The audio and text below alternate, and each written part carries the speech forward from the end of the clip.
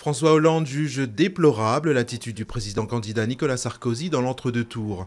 Dans un entretien aux Parisiens, le candidat du PS estime que jamais un tel niveau n'avait été atteint. Donné battu par les sondages, Nicolas Sarkozy fait feu de tout bois à huit jours du second tour, en mettant au centre de sa campagne des thèmes chers aux électeurs du Front National.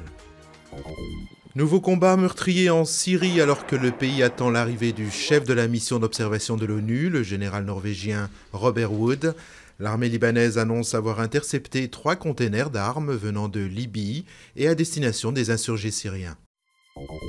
Dominique Strauss-Kahn relance la thèse de la machination à son encontre. L'ancien directeur du FMI accuse ses adversaires politiques de s'être servi de l'affaire Sofitel pour faire échouer sa candidature à la présidentielle.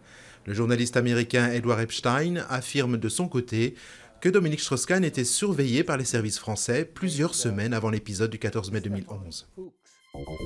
Toujours pas de revendication après les quatre explosions de vendredi dans une ville du centre-est de l'Ukraine. Les attentats ont fait, selon un bilan provisoire, entre 26 et 30 blessés. Une enquête a été ouverte pour terrorisme. Quevilly prête à manger du lion. Les footballeurs normands défient l'Olympique lyonnais en finale de la Coupe de France samedi soir sur la pelouse du Stade de France. Une confrontation entre David et Goliath à laquelle assisteront quelques 80 000 spectateurs.